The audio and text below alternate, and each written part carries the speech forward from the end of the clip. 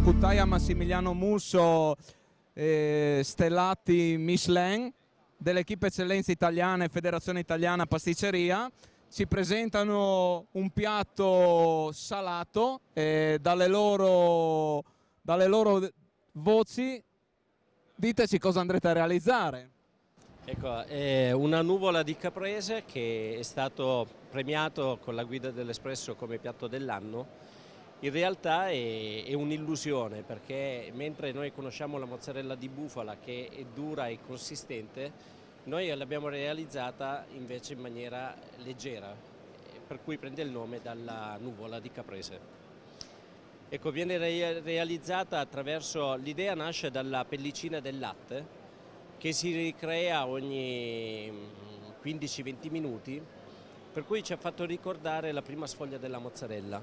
Allora l'idea è stata quella di cambiare, proprio di giocare attraverso questa estetica. Ecco Roberto.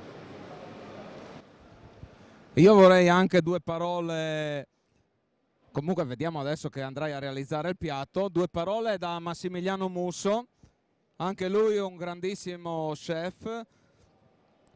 A lui piace molto la pasticceria e dessert al piatto. Dove l'uomo osa?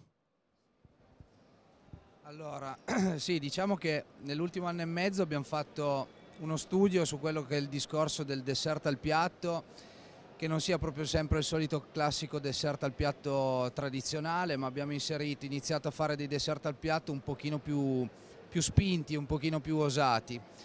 Eh, oggi non li realizzerò, ma lunedì realizzerò dei dessert al piatto, di cui uno è un'anticipazione che è una bavarese alla birra, eh, dedicata alla, alla birra Moretti, quella ambrata, e un dessert invece alla zucca, quindi è la ripresa comunque dell'elemento vegetale all'interno di un discorso di dessert al piatto.